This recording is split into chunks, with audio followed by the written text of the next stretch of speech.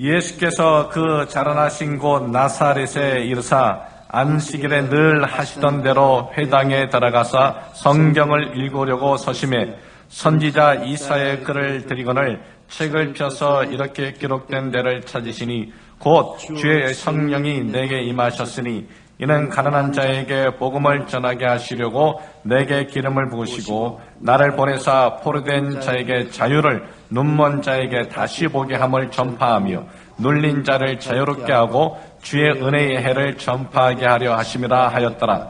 책을 덮어 그 맡은 자에게 주시고 앉으시니 회당에 있는 자들이 다 주목하여 보더라. 이에 예수께서 그들에게 말씀하시되 이 글이 오늘 너희 귀에 응하였느니라 하시니 아멘. 오늘은 여러분과 함께 새 시대 새 삶이란 제목으로 은혜를 나누고자 합니다. 사람은 시대를 따라 삶의 방향이 달라지는 것입니다. 저는 1936년 2월 14일에 태어났습니다. 일본이 한국을 강점한 36년 마지막 10년 동안을 제가 일본 정치하에서 자라났습니다. 그때는 일본 깃발을 향해서 경례를 해야 되고 동방요배로 동쪽을 바라보고 절을 해야 되고 기미가요를 불러야 되고 공출 때 추수를 하고 나면은 일본 관원들이 와서 거의 병사 지은 것을 다 수탈해 가고 젊은이들은 전쟁에 총알 바지로 나가고 장정들은 보국대로 끌려나가고 젊은 아가씨들은 정신대로 끌려나가고 처참하고 황폐한 그 현실 속에 제가 태어났습니다. 우리가 학교 다닐 때는 일본 학교에 다녔는데 거의 공부는 하지 아니하고 산에 나물 캐러 다니고 송진 따라 다녔었습니다. 그러다가 어느 날 갑자기 8월 15일이 되자 해방이 왔습니다. 새로운 시대가 왔습니다. 일장기가 내려지고 태극기가 올라가고 기미가 이어가 없어지고 애국가 동해물과 백두산을 부르게 되고 가게와 거게가 한국말을 가르치게 되고 모든 것이 달라졌습니다. 옛날 시대가 지나가고 새 시대가 다가왔습니다. 새로운 생각을 해야 되고 새로운 삶의 방향을 잡아야 되겠습니다. 여러분 이와 같이 우리 신앙생활도 옛 시대는 지나가고 새 시대가 다가오면 옛 사람식으로 생각하고 말하고 행동해서는 안 되고 새 사람식으로 생각하고 말하고 행동해야 살아갈 수 있는 것입니다. 옛 시대란 무엇이냐? 아담과 하와가 하나님을 반역하고 선악과를 따먹고 에덴에서 쫓겨나서 마귀의 종이 되어서 살던 시대는 옛 시대인 것입니다. 이 구시대 마귀가 모든 사람들의 주인이 되어서 모든 사람들은 타고 살았습니다. 죄의 무거운 멍에를 걸머지셨습니다. 그리고 세속과 마귀의 시키는 대로 따라가 올무에 걸려 있었습니다. 병의 무거운 짐을 짊어지고 저주의 멍에 아래 고통을 당하며 낭패와 실망을 당하고 슬픔과 괴로움을 당하고 그 다음 죽음의 절망 속에 허덕였습니다. 아무도 이 마귀의 종살이에서 해방시켜 줄 자가 없었습니다. 그들은 마귀의 시대에 태어나서 마귀의 손 아래서 살았던 것입니다. 그런데 2000년 전에 하나님의 아들 예수님이 오셔서 우리에게 새 시대를 열기 위해서 오신 것입니다. 주님은 이 땅에 죄 없는 사람으로 오셔서 인간의 모든 죄책과 저주와 절망과 죽음을 걸머지고 십자가에서 몸짓고 피 흘려 다 청산한 것입니다. 여러분 빚더미 위에 올라앉았을 때 부모 형제가 와서 빚을 청산해 주면 얼마나 시원하고 상쾌하고 감사하겠습니까? 인류의 모든 죄와 질병, 저주와 절망, 죽음의 수고하고 무거운 짐을 예수님이 대신 짊어지고 십자가에서 청산하시고 내가 다 이루었다고 외치신 그때부터 새 시대가 돌아간 것입니다. 주님께서 우리에게는 새 시대를 가지고 오신 것입니다. 바로 예수님이 고향 땅 나사렛에 가서 회당에 모인 사람들에게 말씀하신 것이 새 시대의 도래함을 선언한 것입니다. 새 시대는 어떠한 시대며 새 시대는 어떻게 살아야 되는 것입니까? 오늘날도 수많은 사람들이 구시대 속에서 구시대식으로 생각하고 말하고 행동하며 살고 마귀의 종살이하고 있는데 새 시대가 이미 왔는데도 아직 이해하지 못하고 깨닫지 못하고 새 시대식으로 생각하고 말하고 행동하지 못하고 사는 사람들이 많습니다.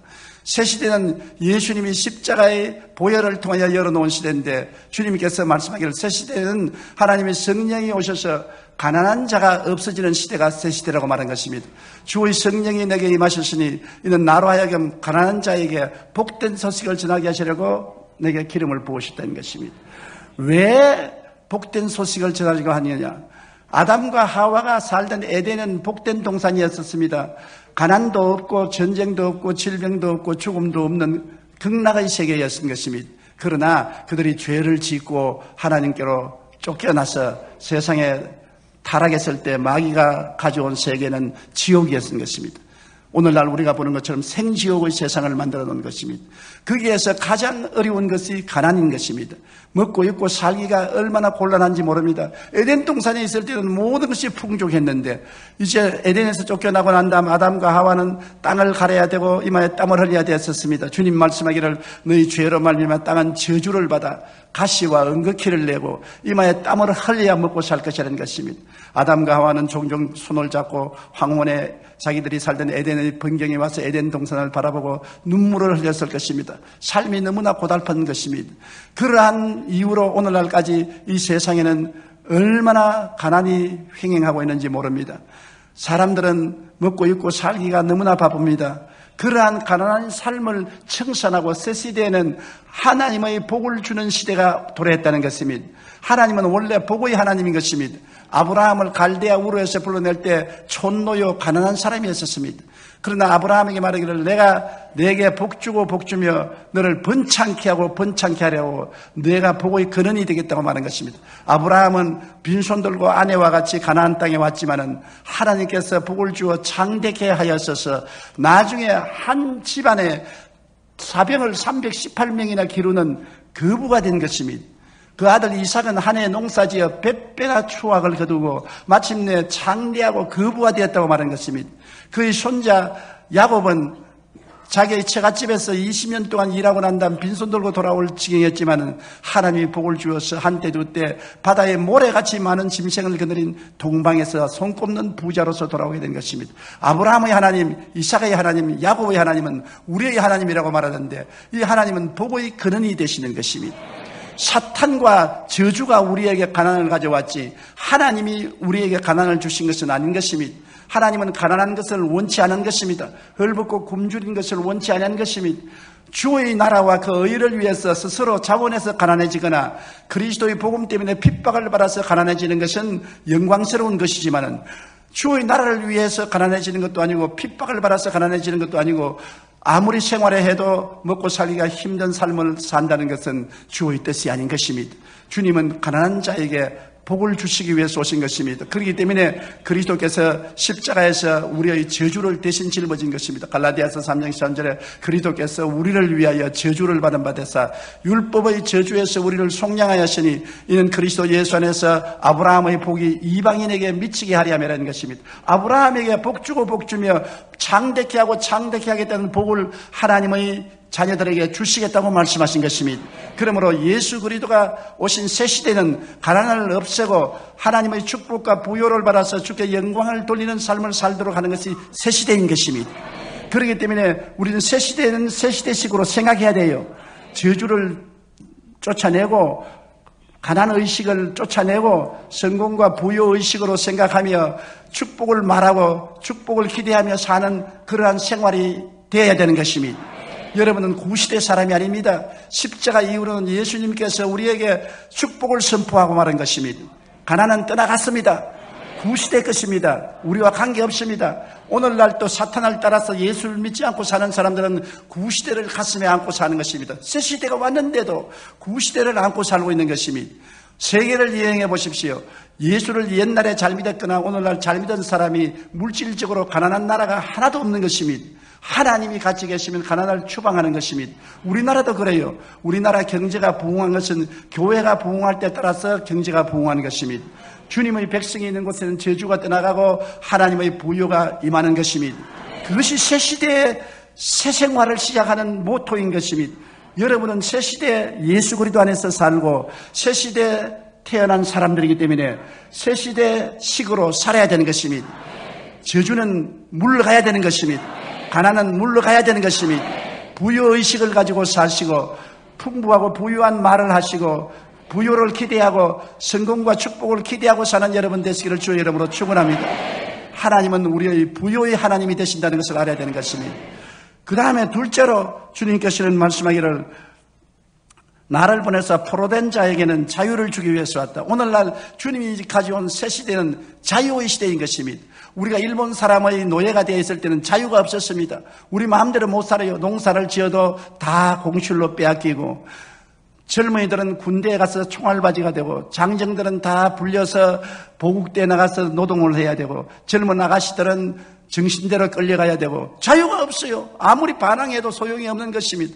자유가 없는 삶이란 얼마나 비참한 삶인지 모릅니다. 6.25 사변 때 공산주의자들이 쳐들어 왔을 때 가는 곳마다 교회를 파괴하고 목사와 장로들을 죽이고 혹은 인질로 잡아가고 사회 생활이 비참한 노예 생활을 했던 것을 기억하는 것입니다. 자유와 해방이 얼마나 그리운지 몰라요. 우리의 삶에 자유와 해방이 없으면 아무것도 우리에게 행복을 갖다 줄 수 없는 것입니다.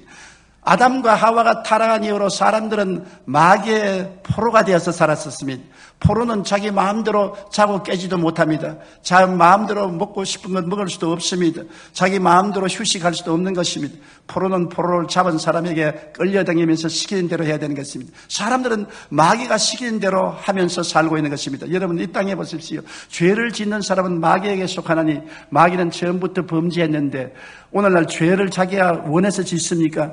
자기가 원치 않지만은 죄에 끌려다니지 않습니까? 술 취하고 방탕하고 음란하고 도박하고 살인하는 죄를 자기가 원해서 합니까? 자기도 알지 못하는 힘에 의해서 끌려가지 않습니까? 마귀의 포로가 된 것입니다. 세속과 마귀의 종이 되어 세상으로 세상으로 끌려가는 것입니다.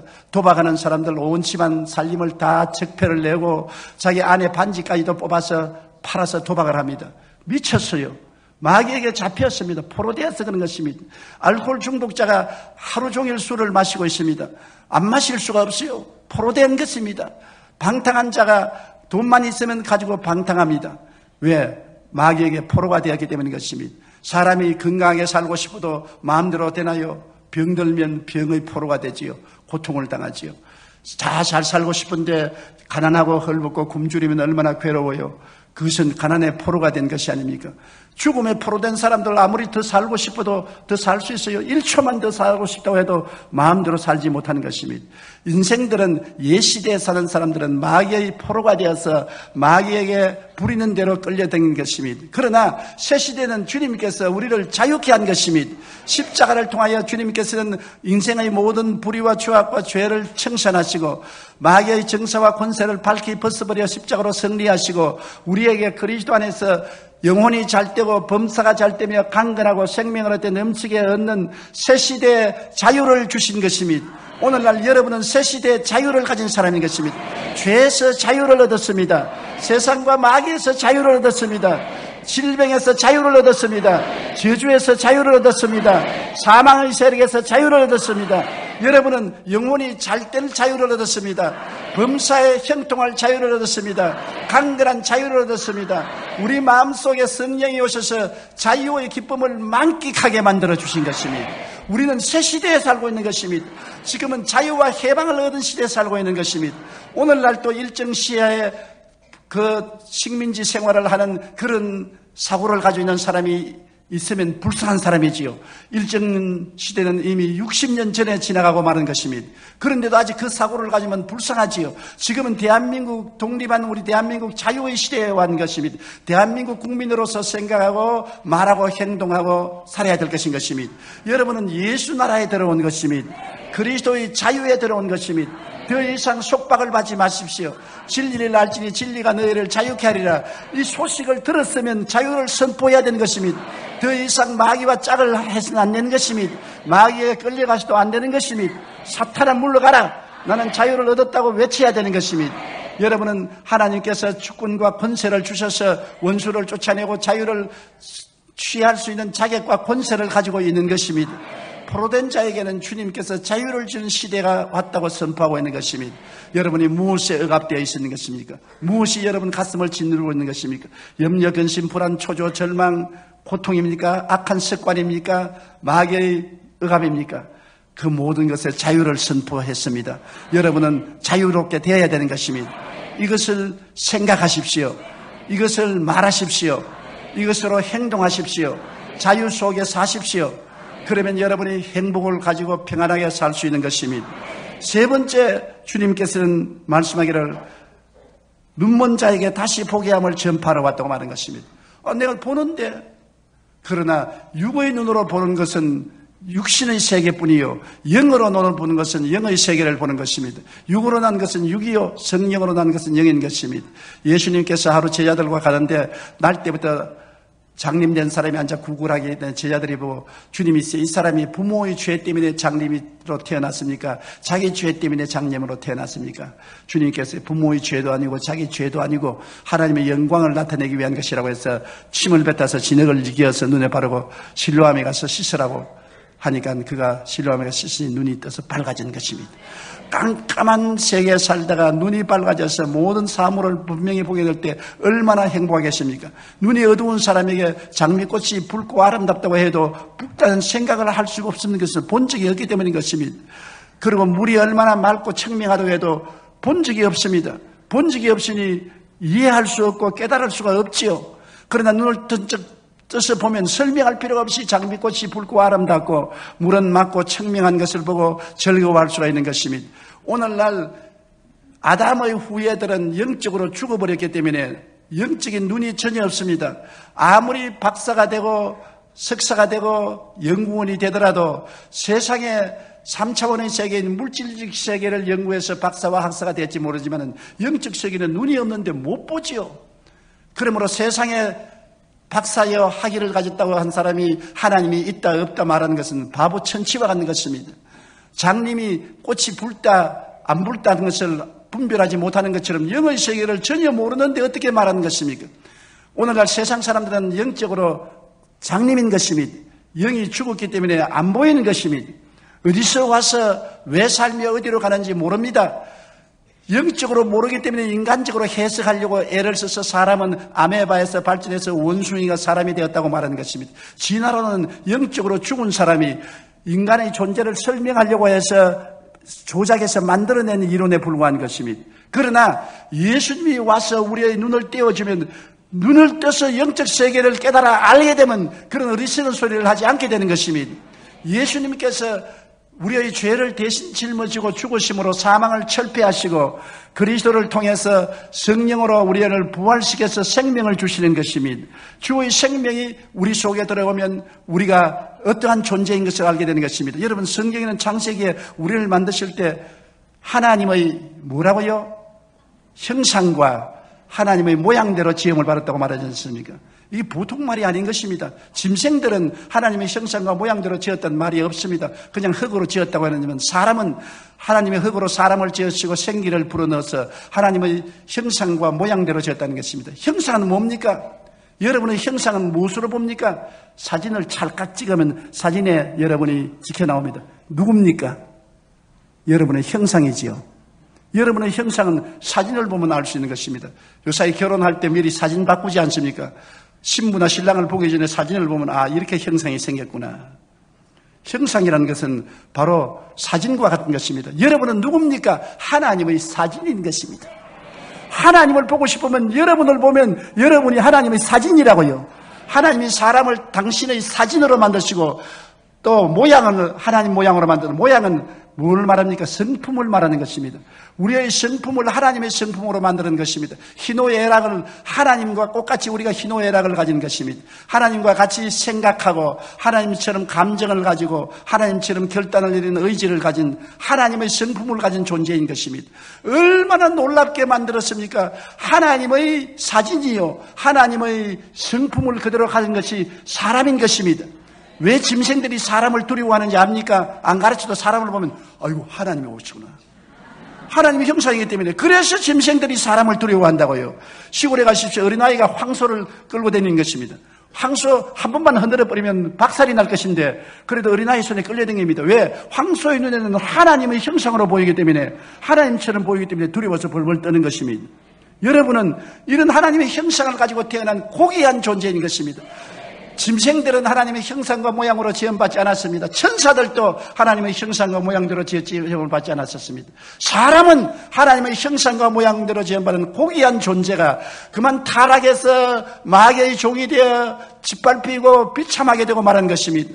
그런데 내가 누군지를 알고 내가 어디서 와서 왜 삶이 어디로 가는지를 깨달아 알 수 있는 길은 예수를 믿고 영의 눈이 번쩍 뜨이면은 하 나는 진화론적 이론에 의해서 아메바에서 생겨난 것이 아니라 하나님의 형상과 모양으로 지음받은 사람이구나. 내가 우리 조상을 통해서 타락했으나 예수님 보혈로 구원을 받고 하나님의 백성이 되고 나는 이 땅에 사는 동안에 하나님의 영광을 위해서 살도록 지음을 받았구나. 하나님께 종기를 돌리기 위해서 찬양을 드리기 위해서 지음을 받았구나. 나는 결국 천국으로 가고 하나님을 모르는 사람은 지옥으로 떨어지는구나. 천국의 영광스러운 세계를 성경을 통해서 깨닫게 되는 것이니 도저히 안 믿는 사람이 아무리 읽어봐도 이해할 수 없는 성경이 눈에 들어오고 깨달아지고 알려지고 성경을 통하여 나의 새로운 인생관, 사회관, 영생관이 생겨나게 되는 것입니다. 여러분, 그러므로 눈이 밝아져야 돼요. 학교에서 아무리 교육시켜도 교육으로서 크리스천이 되지 않습니다. 내가 어느 유명한 교수에게 예수를 믿으라고 전도하니까 목사님 내게는 전도하지 마시고 다른 사람에게 하십시오. 왜요? 나는 크리스천 대학을 나왔는데 그리스도 대학에서 성경을 공부해서 낱낱이 다 압니다. 성경에 말한 모든 이론을 다 압니다. 그러므로 다른 사람에게 가르치십시오. 알면 뭐합니까? 예수를 믿지 아니하고 섬기지 않는데 머릿속에 지식이 우리를 구원하는 것이 아닙니다. 사람이 물과 성령으로 거듭나지 아니하면 하늘 나라를 볼 수 없는 것입니다. 회개하고 예수님을 내 구주로 모셔드려야 거듭나는 것입니다. 예수님을 연구해서 배운다고 해서 크리스천이 되는 것이 아닙니다. 그리도에게 내 인생을 내어 맡기고 내 죄를 회개하고 주님을 주님으로 모셔드리고 주님을 섬기고 따라갈 때 거듭나게 되고 어두운 눈이 밝아지는 것입니다. 어두운 눈이 밝아져야 돼요. 장님으로 인생을 살 수 없어요. 사람은 일생을 이 세상에 사는 것은 아닙니다. 사람은 살다가 이 세상을 떠나서 천국 아니면 지옥으로 가는 것입니다.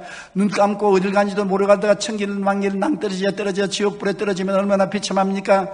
눈을 떠야 돼요. 눈을 떠야 돼요. 눈을 떠서 보아야 돼요. 오늘날 북한에 있는 수많은 주민들이 눈이 어두워서 나만이 헐벗고 굶주리고 거지들이 득실거린다고 그렇게 생각하고 있는 것입니다. 눈을 떠서 못 보기 때문에 그런 것입니다. 실제로 와보면 우리가 얼마나 엄청스럽게 북한보다 잘 산다는 것을 알 수 있는 것입니다. 눈을 떠서 봐야 돼요. 천국도 눈을 떠서 봐야 돼요.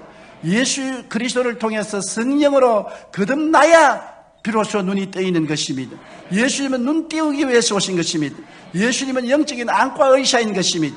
눈을 놓은 사람이 그리스도에게 오면은 그리스도가 눈을 떠서 내가 누군지를 알게 되고 어디서 와서 왜 삶이 어디로 가며 천국은 어떤 것인 것을 주께서 보여주시는 것입니다.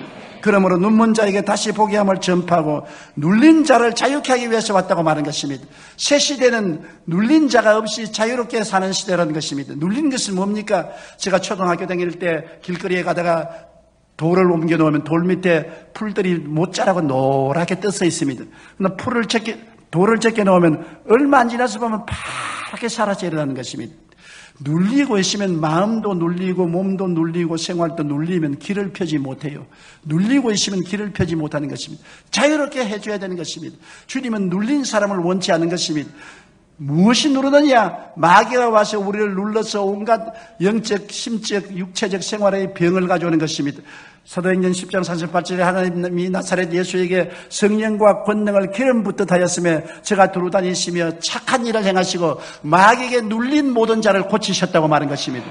마귀가 우리를 눌러서 스트레스를 주어서 병들게 하는 것입니다. 오늘 의사들도 인간의 병은 60%에서 100% 스트레스 때문에 일어난다고 말한 것입니다.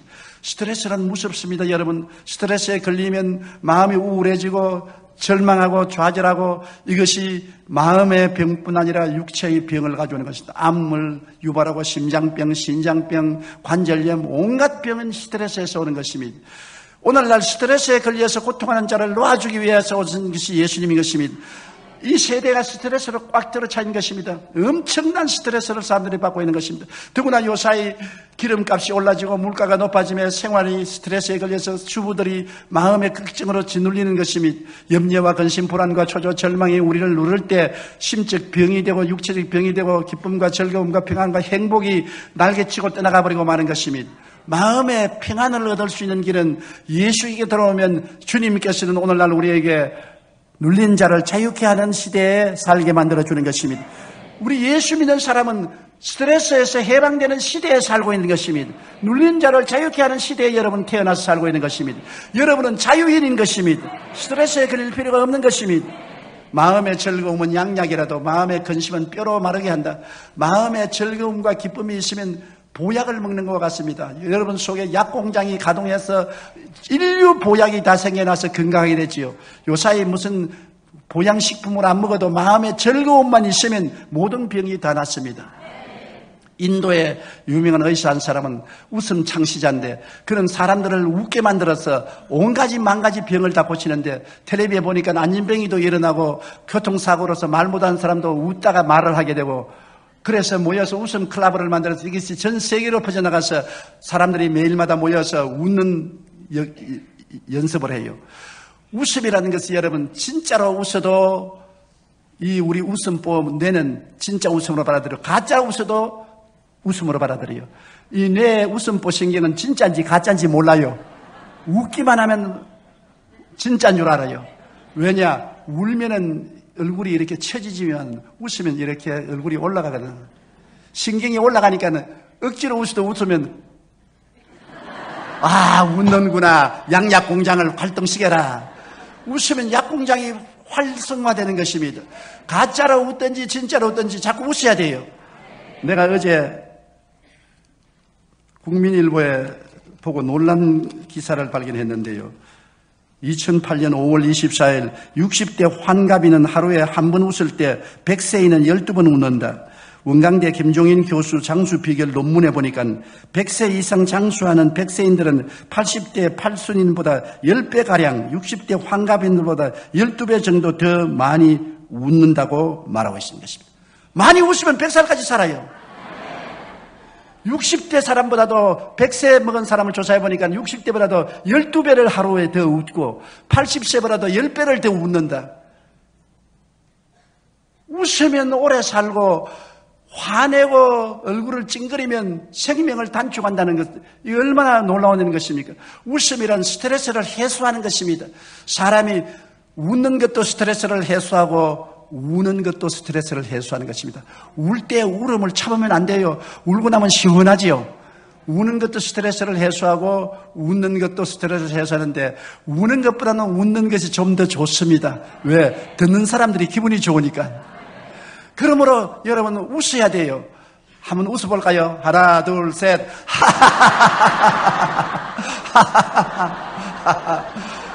아침, 저녁으로 웃으십시오. 여러분, 거울을 잡고 잘났으니까 좋아서 웃고, 못났으니까 불쌍해서 웃고, 기분이 좋아하면 좋아서 웃고, 찡그리면 모양새가 우스워서 웃고, 하루 종일 자꾸 웃으면 여러분 오래오래 장수하고 살게 되는 것입니다. 예수님은 우리에게 눌린 자를 자유케 하기 위해서 왔기 때문에 염려, 근심, 불안, 초조, 절망도 없애버려야 되는 것입니다. 이 논문에 보니까 백세인들의 근심, 걱정은 팔순인과 비교할 때 6분의 1, 환, 환갑인에 비해서 12분지 1 정도밖에 안 된다. 100세 이상 장수하는 노인은 그만큼 근심, 걱정이 적고 스트레스도 없다는 것입니다. 그러므로 근심 걱정하지 말라는 것입니다. 주님께서는 뭐라고 말씀하셨습니까? 수고하고 무거운 짐진 자들은 다 내게로 오라. 내가 너희를 쉬게 하리라. 인생을 쉽고 가볍게 살아라. 주님을 의지하면 주님께서 무거운 염려, 근심, 불안, 초조, 절망의 돌을 옮겨버리고 마는 것입니다. 여러분은 자유를 얻은 것입니다. 눌린 자가 자유케 되면 여러분 질병도 낫고 슬픔과 고통과 불행도 떠나가는 것입니다. 예수님은 그 시대를 우리에게 주시기 위해서 오신 것입니다. 이제 짓눌린 삶을 살지 마십시오. 내 마음이 짓눌리고 생활이 짓눌리고 육체가 짓눌려서 온갖 심신의 병을 일으키는 것은 다 추방하고 말매일 주님께 감사하고 찬송하고 자꾸 웃고 감사하고 찬양하면 만병이 다 통치가 치료가 되고 건강하게 살 수 있는 것입니다. 생활의 행복도 웃음 속에서 피어나는 것입니다. 늘 불평, 원망은 파멸을 가져와요. 이스라엘 백성이 광야에서 왜 하나님께 버림받았는 것입니까? 늘 원망하고 불평하고 탄식하다가 하나님께 버림받는 것입니다. 웃으면 하나님이 같이 와서 계시는 것입니다. 즐거운 속에 하나님이 계시고 원망과 탄식 속에는 사탄이 와서 좋아서 날뛰는 것입니다. 우리 민족이 좀 더 쾌활하고 긍정적이고 적극적이면 좋겠습니다. 우리 민족만큼 불평 잘하는 민족이 없어요. 언제는 이명박 대통령을 500만 표로 차이로 당선을 시켜놓았다가 또 갑자기 석 달도 안 돼가지고서 지지율이 20%로 떨어지고 당락이 너무 심합니다. 올라갔다가 내려갔다가 너무 당락이 심해요. 우리 국민들의 감정이 너무나 예리한 것입니다. 우리가 예수 믿고 자유와 해방을 얻어 좀 웃고 평안하고 느긋한 마음을 갖고 살게 되기를 간절히 바람하지 않는 것입니다. 주님께서는 눌린 자를 자유케 하기 위해서 오셨고 은혜의 해를 전파하기 위해서 오신 것입니다. 오늘날 우리 시대는 은혜의 시대인 것입니다. 구약 시대는 율법의 시대인 것입니다. 율법이란 여러분 율법을 지키지 아니하면 하나님께 심판을 받고 판단을 받고 벌을 받고 멸망을 받는 것입니다. 율법을 지키기 쉬운 줄 압니까? 내 앞에 다른 신을 두지 말라. 우상에 절하지 말라. 하나님의 이름을 망령되이 부르지 말라. 안식일을 거룩히 지켜라. 내 부모를 공경하라. 살인하지 말라. 간음하지 말라. 도둑질하지 말라. 내 이웃을 거짓 증가하지 말라. 내 이웃을 탐하지 말라. 이것도 지키기 힘듭니다. 이것도 한 가지만 범하면 범죄하게 되고 정죄받고 멸망받는 것입니다. 그러니 율법하에서 어떻게 삽니까? 아, 난 그럼 불교 믿겠지. 불교는 쉬운 줄 알아요. 불교는 여러분 지켜야 될 율법이 227가지가 있는 것입니다. 그 중에 추려서 반드시 지켜야 되고 안 지키면 지옥 가는 것이 다섯 가지가 있는 것입니다. 살생하지 마라. 빈대별을 죽이면 안 돼요. 빈대배력도 죽이면 여러분 살생인 것입니다. 그리고 가늠하지 말라. 음란한 생각만 해도 범죄하게 되는 것입니다. 그 다음 도둑질 하지 말라. 아무도 도둑질 할 수 없어요. 그 다음에 거짓말 하지 말라. 거짓말 안 하고 사는 사람 손 들어봐 주십시오. 하얀 거짓말, 빨간 거짓말, 노란 거짓말, 까만 거짓말, 온갖 거짓말을 다 하고 사는 것입니다. 사실 부부간에 살 때도 거짓말 없이 살다가는 밤낮 싸우다가 볼일 다 봐요. 부인이 원치 않은 일을 해놓고 난 다음에는 입석 닦고 어디 갔다 왔노? 친구하고 뭐 한잔 한다고. 부인은 또 동창들하고 좋지 않은 데 갔다 와가지고 어디 갔다 왔노? 아 오늘 동창들하고 오늘 파티에 갔다 왔다. 하얀 거짓말도 많이 하고 정말 새빨간 거짓말을 해서 사기치는 사람들도 많지 않습니까? 거짓말을 하면 지옥 가요. 불교에서는 그러므로 거짓말 하지 말아야 되고 그 다음에는 중독성을 먹지 말라. 담배, 술 먹으면 지옥 가요. 중독성이기 때문에 중독성 있는 것은 먹지 말라. 이게 불교 불교 신자들은 반드시 지켜야 될 다섯 가지인 것입니다. 227가지는 스님들만 지킬 수 있지 보통 사람은 지키지 못하는데 보통 사람들도 이 5계명은 지켜야 되는 것입니다.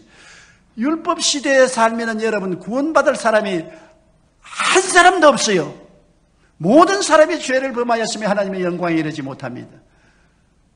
우리가 율법 시대에 태어났으면 얼굴을 들 수가 없어요. 다 지옥 가게끔 도장 찍어놨어요. 그런데 예수님은 우리에게 오신 것은 은혜의 시대를 전파하기 위해서 왔습니다. 그 은혜의 시대는 뭐냐? 내가 대신해서 다 갚았다. 네가 지은 모든 죄를 내가 일생의 죄를 대신해서 다 갚았다.